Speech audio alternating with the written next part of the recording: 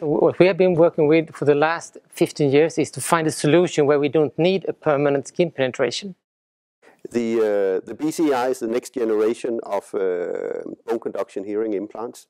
These patients, they have a conductive loss and they need something going bypass the ordinary middle ear.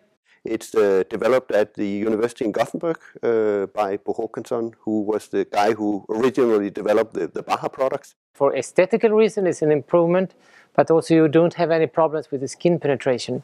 You can get the benefits of the Ponto uh, or the bone conduction hearing. Um, we put the whole transducer in the bone behind the ear. You have quite much of space, so we can place the transducer here and we can transmit the sound into the implant. This project has been a university-based project and now we come to a phase where we need a big uh, collaborator. I think everybody can imagine that the the Genius implant system from the University in Gothenburg combined with the signal processing and wireless capabilities of Ponto Plus, that will be sort of a marriage made in heaven.